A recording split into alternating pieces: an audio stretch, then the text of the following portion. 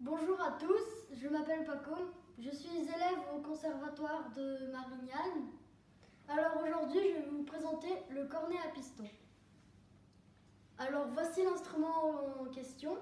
Il est composé de deux parties, donc le corps que nous voyons ici et l'embouchure. L'embouchure n'a pas besoin d'avoir la trompette pour faire des sons, regardez. Mais par contre, si je veux souffler dans trompette, c'est obligé d'avoir l'embouchure, parce que là, il y a juste de l'air qui passe. Alors que là, voilà. Le cornet à piston fait partie de la famille des vents, et plus précisément de la famille des cuivres.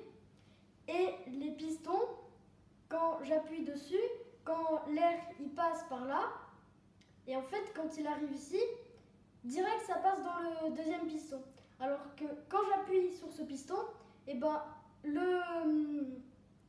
l'air va passer d'abord dans la boucle et après il va aller dans le deuxième piston, ce qui, ce qui fait que du coup, euh, la longueur d'onde va être plus longue. Le cornet à piston peut se jouer dans les orchestres, les harmonies, des fanfares, plein de, plein de groupes du jazz, de groupes et de styles de musique.